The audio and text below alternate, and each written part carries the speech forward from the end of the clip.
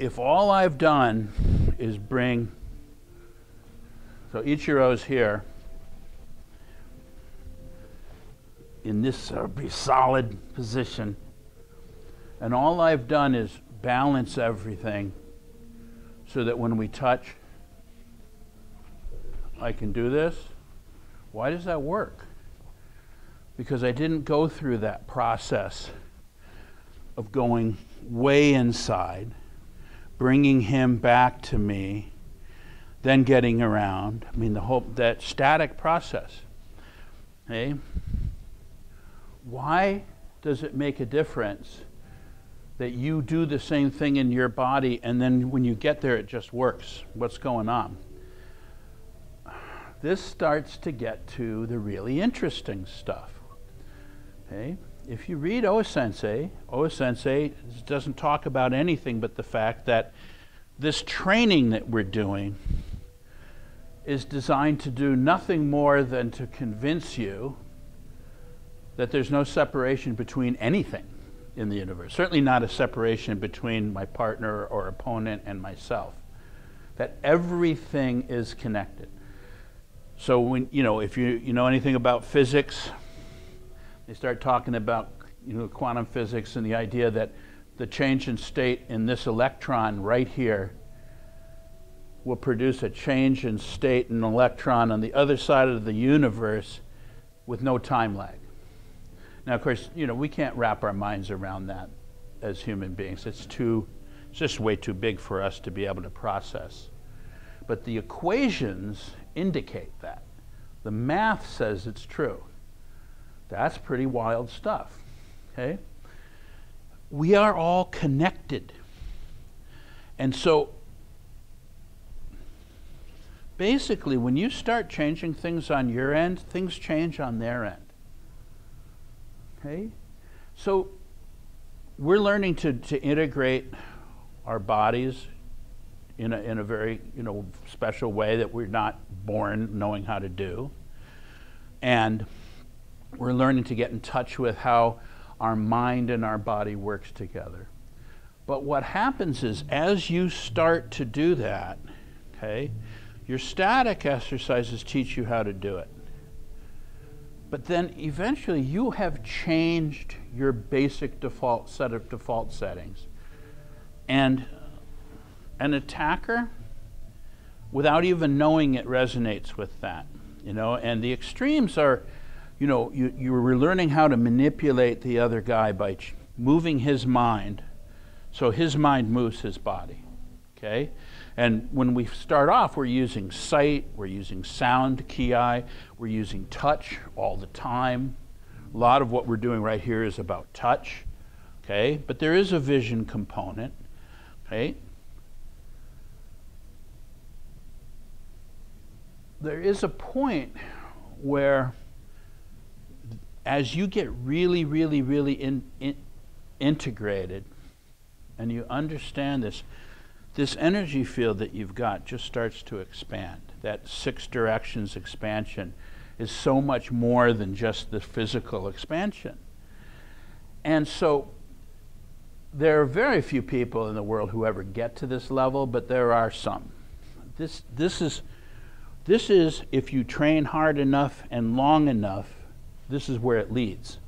This was O Sensei's level. Okay? And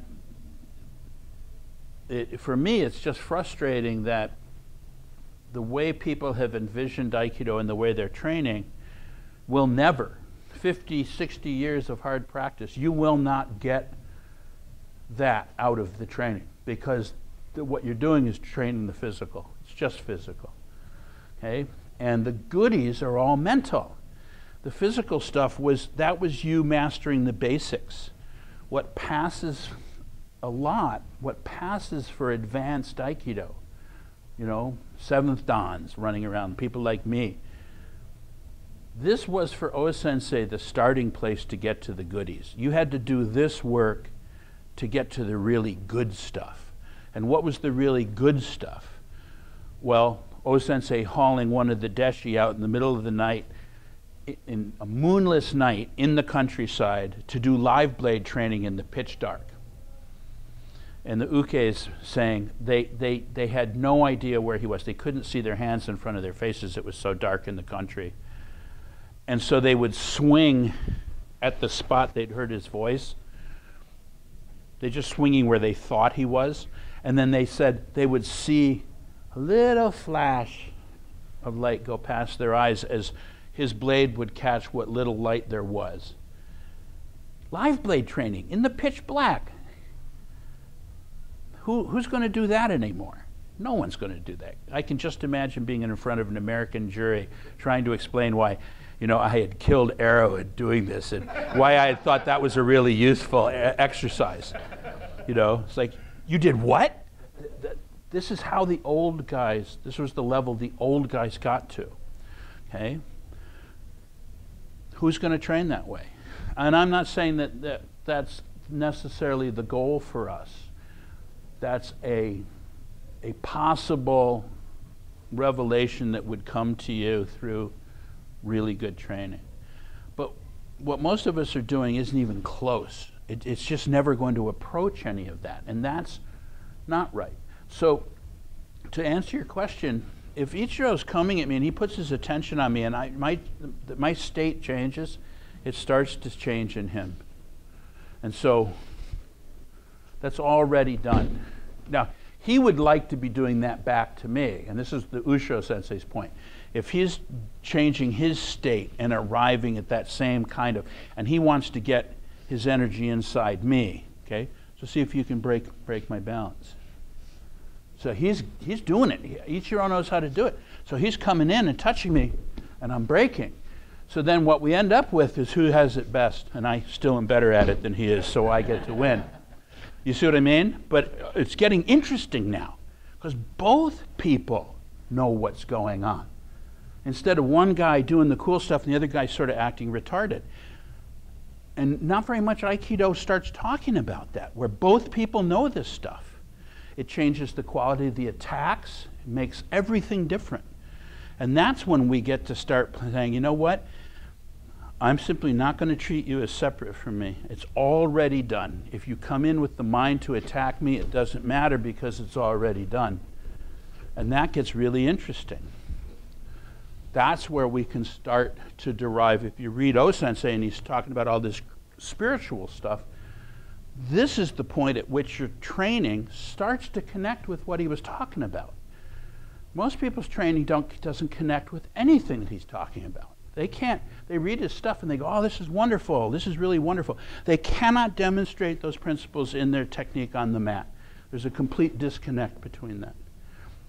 That's not what we're talking about. We're, we should be able to take what O Sensei talked about and manifest that in his bodies, because that's what Aikido was about.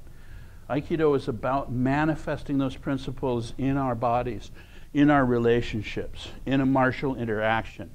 And yeah, they exist on the cosmic level too, you know, the macro. We're talking about the micro. Everything that's in there is in here. Okay? So basically, just like those two electrons, if something changes over here, it changes over here. You just have to understand that and stop acting like it doesn't. You know, our problem with most of our stuff is not that. We, we, our problem is not so much that the, we in our in our heads we understand. Oh yeah, it's all supposed to be connected, but in our hearts and our minds, we still act like we're separate. And when you act like we're separate, then the, the, the techniques don't really work. But if I actually start to believe that we're not separate, things change. And he changes. Okay? Does that make sense? That's kind of why. That's thank you. We'll end now.